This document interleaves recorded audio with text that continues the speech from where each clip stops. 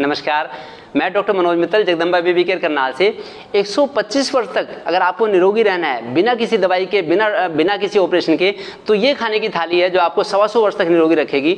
और कौन कौन से भोजन से, क्योंकि ये हमारे आदर्श हैं, जिन्होंने सिंपल भोजन लिया, सात्विक भोजन लिया और निरोगी रहे, ये हमारे आदर्श हैं। ये ये कल्याण देवी जी, जो एक सौ पच्चीस वर्ष तक निरोगी रहे, एक सौ तीस वर्ष तक, ये हम, मेरे को इनका आशीर्वाद भी मिला हुआ है। और ये भी, आचार्य सुश्रुत भी, जो सिंपल भोजन लेके एक सौ पच्चीस वर्ष तक निरोगी रहे तो ये भी। और कौन से भोजन से सी बीमारियाँ होती है, मैं ये भी आपको बताऊँगा। ये देखिए डिफरेंट भोजन जो डिफरेंट बीमारियों के लिए जिम्मेदार है। और कौन सा 99 परसेंट परसेंट बीमारियाँ, निन्यानवे परसेंट बीमारियाँ गलत खान पान गलत रहन सहन से होती है।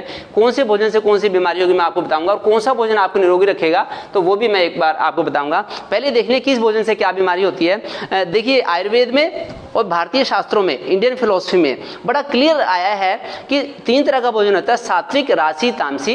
तो सात्विक ये भोजन है जो निरोगी रखेगा हमें। राशि ये भोजन है, जो अनेक बीमारियों का कारण है, और तामसी भोजन ये है, जो अनेक असाध्य महामारियों का भी कारण है।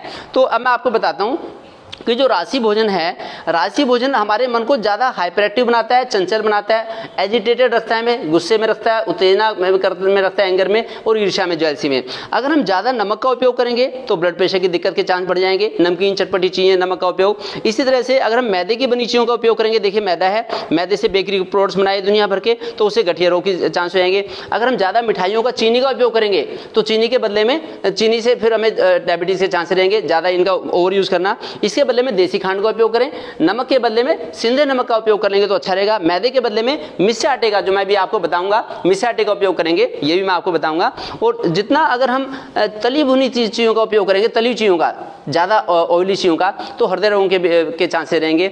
इसी तरह से अगर हम ज़्यादा ज़्यादा हैवी प्रोटीन्स लेंगे, ज़्यादा जिनमें प्रोटीन्स हैवी प्रोटीन्स हैं तो उनसे पथरी की शिकायत के, या इसके गाउट वगैरह के चांसेस बढ़ जाएँगे। और ज़्यादा मिल्क प्रोडक्ट्स का उपयोग, ज़्यादा घी का, ज़्यादा दही का, ज़्यादा दूध का उपयोग करना, ज़्यादा दूध के उपयोग से फिर फैटी लीवर के पीसीओडी के, ज़्यादा दमे वगैरह के भी चांस हो जाएँगे। ये पक्की बात है तो इसको ज़रूर देखने, क्योंकि अपने हमें अंदर झांकना पड़ता है कि क्यों हमें तरह तरह की बीमारियाँ हो रही हैं। इसी तरह से जो तामसी भोजन है, जो डेड फ़ूड है, ये डेड फ़ूड ये अनेक महामारियों का और कैंसर का कारण है। जैसे बीड़ी है सिगरेट है, शराब है, प्याज है, ज़्यादा लहसुन है, ज़्यादा, बहुत ज़्यादा लहसुन है। फिर ये गुटखा, पान मसाला नॉनवेज का बहुत ज़्यादा उपयोग करना, ये सब बीमारियों का कारण है। क्योंकि हमारी अलग अलग जो भावनाएँ हैं, वो हमारे भोजन से पैदा होती हैं। देखिए, मैं आपको बताता हूँ, हमारे अंदर कौन कौन सी भावनाएँ किस किस रोग को पैदा करते हैं और किस भोजन से होती हैं। अगर हम ज़्यादा छोले, राजमा, पनीर, मटर, बहुत ज़्यादा हैवी प्रोटीन्स लेंगे तो हमारा वात प्रकोपित हो जाएगा कामी प्रवृत्ति बन जाएगी हमारी फिर कमर में दर्द वगैरह हो जाएगा। अगर हम ज़्यादा पित्तवर्धक भोजन लेंगे चटपटी मिर्च मसाले की खट्टी तली चीज़ें तो क्रोधी स्वभाव हो जाएगा इम्यूनिटी हमारी कम हो जाएगी। अगर हम ज़्यादा मीठा लेंगे तो कफ से लोभ लोभी प्रवृत्ति बन, बन जाएगी। ममता से दाद खाद खुजली ईर्षा के स्वभाव वाली चीज़ें लेने से खट्टी चीज़ें ज़्यादा लेने से पित्त की पथरी एसिडिटी होगी। द्वेष भाव से कॉन्फिडेंस कम हो जाएगा हमारा। अहंकार ज़्यादा होगा हमारा। अगर ऐसा भोजन लेंगे जिसे अहंकारी हम होंगे तो थायराइड की दिक्कत हो सकती है। ज़्यादा तृष्णा से जलोदर एसाइटिस ज़्यादा दम से पैरालिसिस अविवेक से फीवर और ज़्यादा मैदे वाली चीज़ों से और मन की अशांति वाली भावनाएँ रखने से आर्थराइटिस जोड़ों की बीमारी। क्रोध, चिड़चिड़ापन जैसा भोजन हम लेंगे जिससे होगा तो हृदय रोगों की और भय से ब्लड प्रेशर वात ज़्यादा और डायबिटीज़ शुगर तब होगी जब ज़्यादा मानसिक थकावट, ज़्यादा चिंता में रहेंगे। शिजोफ्रीनिया अगर वातवर्धक भोजन ज़्यादा होगा हमारा शिजोफ्रीनिया पित्तवर्धक ज़्यादा भोजन से मैनिया हम ज़्यादा हो रहेंगे और ज़्यादा कफवर्धक भोजन से ज़्यादा डिप्रेशन के हमारे चांस रहेंगे। इसलिए भोजन जितना संतुलित होगा अच्छा रहेगा। अब मैं आपको बताता हूँ कौन सा भोजन आपको निरोगी रखेगा? बिल्कुल, आप डेडलाइन देख लीजिए, इस भोजन ने हमें बीमार किया, इसका ज़्यादा हमने ओवर यूज़ किया तो बीमार किया। अब कौन सा भोजन हमें निरोगी रखेगा, मैं आपको वही बताता हूँ। देखिए, अगर हम सुबह के नाश्ते में अगर हम पत्तों का जूस ले लें तो पत्तों का जूस बड़ा निरोगी रहेगा। पहली बात तो हम रात को जल्दी खाना खा लें, खाने का समय भी हम निर्धारित करें तो खाने का समय जल्दी हो। और अगर हम पत्ते ले लें या पत्तियों का, सब्जियों का जूस ले लेंगे सुबह तो हमारी बॉडी को डिटॉक्सीफाई करेगा। ये जो सात्विक भोजन है, जो मैं आपको दिखाने वाला हूँ, इसे कहते हैं लाइव फ़ूड। लाइव फ़ूड या वाइटल फ़ूड ये जो सात्विक भोजन है ये लाइव या वाइटल फ़ूड है ये ताज़ा भी होता है फ्रेश होता है और स्टीम्ड खाने भी हो, सकता है उबला हुआ भी। लेकिन माइक्रोवेव का बना हुआ खाने का यूज़ ना करें। माइक्रोवेव में रख दिया खाना। अगर हमने खाना फ्रिज में रख दिया पका के बस वो तो फिर एक तरह का डेड फ़ूड बन गया। इसलिए ताजे भोजन का उपयोग करें। पकाने के बाद हमें बासी भोजन दोबारा यूज़ नहीं करना। बासी भोजन तामसी भोजन है ताज़ा भोजन जो है ये सात्विक भोजन है।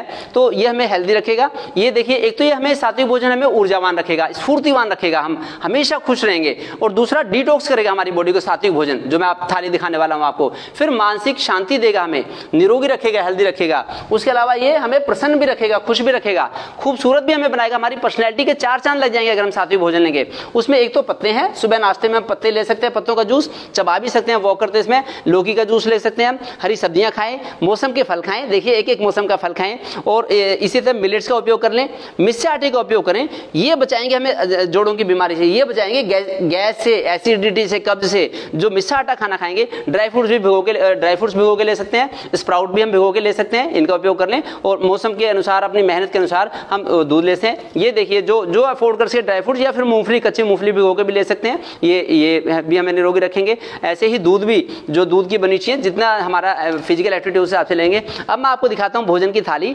एक तो भोजन की वैरायटी है कि हम क्या खाएँ। एक हमें फिर थोड़ा से उसकी मर्यादाओं का भी ध्यान रखना पड़ेगा। ये भोजन की थाली है, ये मेरी खुद की पर्सनल थाली मैं आपको दिखा रहा हूँ, जो मैं खा के निरोगी रहता हूँ और जो मुझे जिस पे बड़ा गर्व है कि मैं आगे निरोगी रहूँगा, ये तोरी की सब्ज़ी है।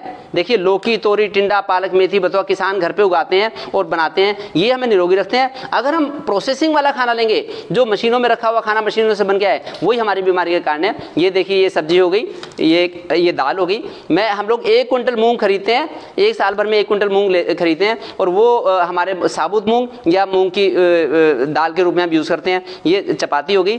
तो चपाती मैं आपको बता देता हूँ।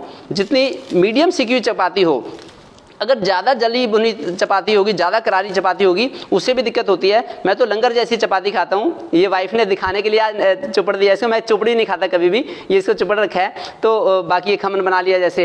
ये धनिया की चटनी बना ली। ये धनिया की चटनी है। ये देखिए।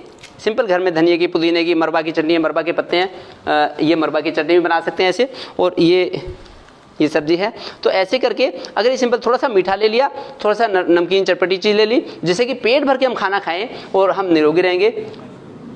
बाकी ये छोटा सा छोटा सा स्मार्ट सेशन है ये। मैं चाहता हूँ कि आप सब लोगों को इस सेशन को करें। और ये जो आ, मेरा भी प्लेटफॉर्म है आप इस पर भी विज़िट करें। ऐसे ऐसे अनेक वीडियो मिलेंगे आपको जिससे कि पता लगेगा आपको कि हमें डायबिटीज़ क्यों होती है डायबिटीज़ से कैसे बचें।